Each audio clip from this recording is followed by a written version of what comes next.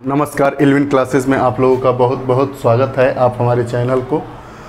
ज़्यादा से ज़्यादा सब्सक्राइब्स, लाइक और शेयर करते रहें।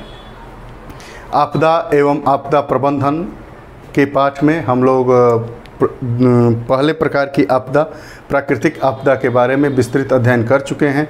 आज नई कक्षा और आपदा का दूसरा प्रकार, मानवीय आपदा हम लोग पढ़ेंगे।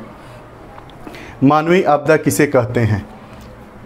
हम अपने तकनीकी एवं प्रौद्योगिकी ज्ञान के माध्यम से ऐसी अनेक वस्तुएँ निर्मित करने लगे हैं, जिनका प्रयोग करने व रखरखाव में लापरवाही होने पर भीषण दुर्घटनाएँ घटित होती है।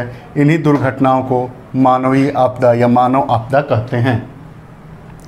ठीक, मानव आपदा जैसे आपका भोपाल में दो तीन दिसंबर उन्नीस सौ चौरासी को मिथाइल आइसोनेट गैस के रिसाव से जो घटना घटी वो भोपाल गैस त्रासदी के नाम से है। और उन्नीस सौ चौरासी का दिसंबर का वह दिन एक बेहद त्रासदी वाला दिन है। आज भी वहाँ पर आप जो लोग पैदा होते हैं, उनमें विकलांगता के लक्षण को आप देख सकते हैं। चेरोनोबिल नाव की दुर्घटना भी ऐसी ही है। अमेरिका द्वारा जापान के हिरोशिमा और नागासाकी पर जो परमाणु बम गिराया गया था, वो भी मानवीय आपदाओं को जन्म दिया। अभी विशाखापट्टनम में स्टायरिन गैस का रिसाव हुआ, वो भी मानवीय आपदा है। हम इसी प्रकार की महत्वपूर्ण आपदाओं को देखेंगे। पहली उसमें लेते हैं एड्स, एक मानवीय आपदा। AIDS A I D S AIDS का पूरा नाम कई परीक्षाओं में पूछा जाता है। इसका पूरा नाम एक्वायर्ड इम्यूनो डिफिशियंसी सिंड्रोम है। इसके विषाणु कौन है? एड्स का विषाणु कौन सा है? एच आई का फुल फॉर्म क्या है? Human immunodeficiency virus. इससे क्या होता है? एच आई वी वायरस जब स्वस्थ मानव के शरीर में प्रवेश करता है तो स्वस्थ मानव के शरीर के अंदर रोगों से लड़ने वाली जो क्षमता है, वो ख़त्म हो जाती है। यह वायरस कैसे फैलता है? इसका संक्रमण मतलब एचआईवी कैसे फैलता है? एचआईवी का संक्रमण खून या अंतःस्रावित पदार्थों का रोगी व्यक्ति से स्वस्थ शरीर में पहुँचने से होता है। कोई एचआईवी पॉजिटिव व्यक्ति है और हेल्दी व्यक्ति के शरीर में जब उसका खून या अंतःस्रावित पदार्थ पहुँचता है तो वो भी एच निगेटिव से एचआईवी पॉजिटिव हो जाता है। बचाव, इसके बचाव के लिए क्या करना चाहिए?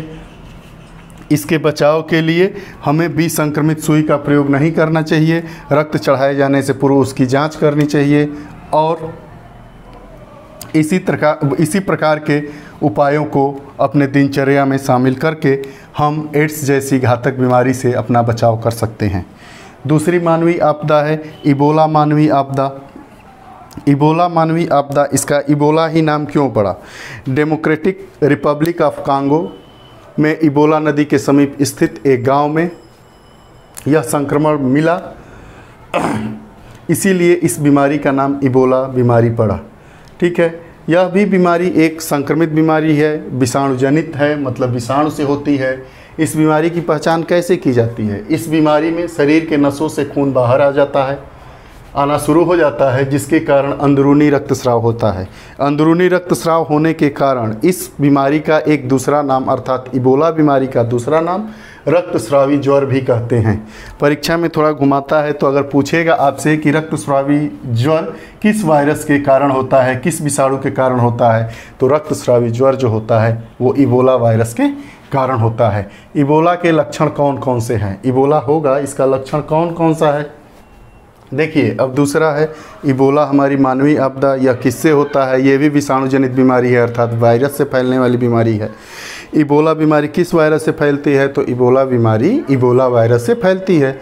इस बीमारी का नाम इबोला ही क्यों पड़ा? क्योंकि डेमोक्रेटिक रिपब्लिक ऑफ़ कांगो के इबोला नदी के किनारे स्थित एक गाँव में इस बीमारी की पहचान हुई थी।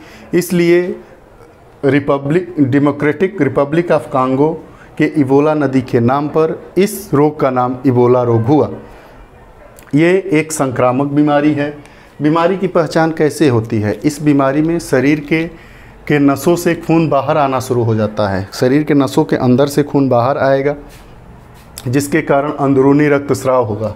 ठीक है? इसी कारण इसे रक्तस्रावी ज्वर भी कहते हैं। कई बार परीक्षाओं में पूछा जाता है कि रक्तस्रावी ज्वर होने का क्या कारण है? अर्थात रक्तस्रावी ज्वर विषाणु जनित है या जीवाणु जनित है?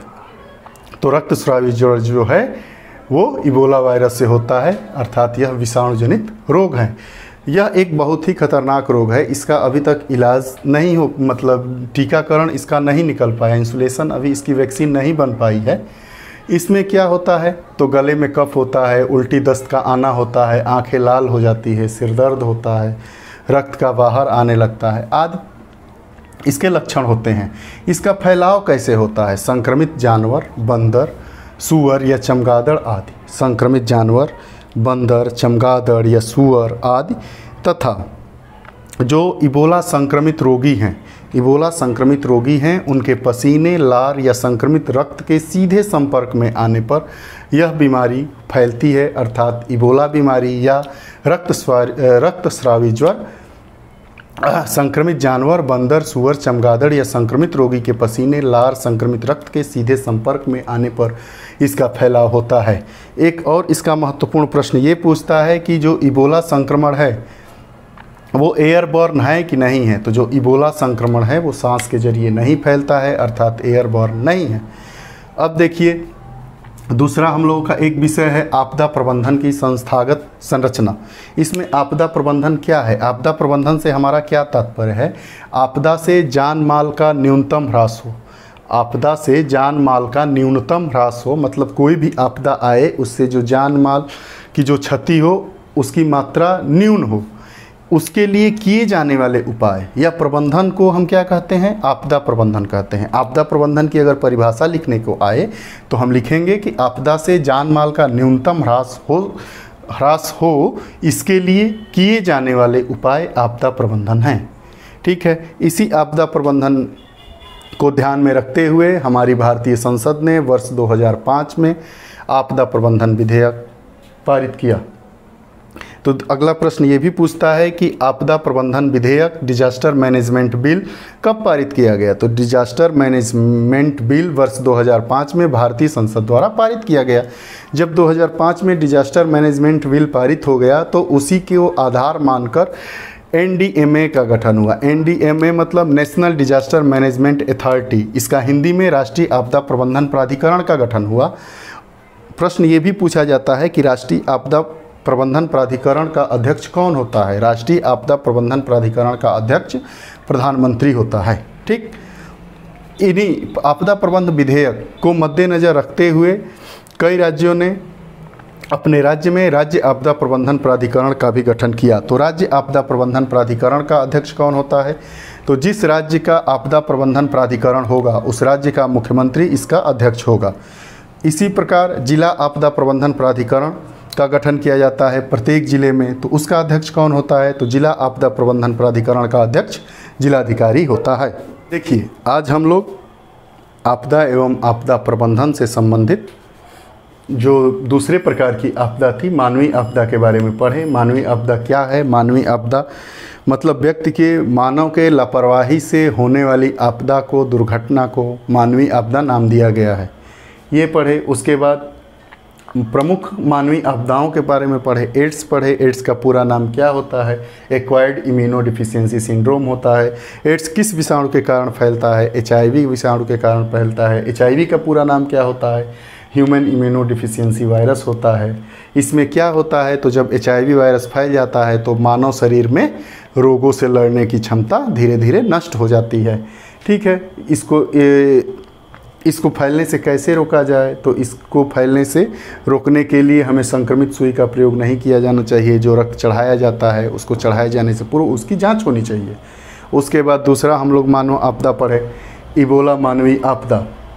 Ebola democratic republic of Congo जो देश है, उसमें इबोला नदी के किनारे स्थित एक गाँव से इस बीमारी की पहचान हुई। इसीलिए उस नदी के नाम पर इसका नाम इबोला नदी रखा गया। इसे रक्तस्रावी ज्वर भी कहा जाता है। इसके लक्षण गले में कफ, इसमें रक्त से खून बाहर आने लगता है। इसलिए रक्तस्रावी ज्वर भी कहते हैं।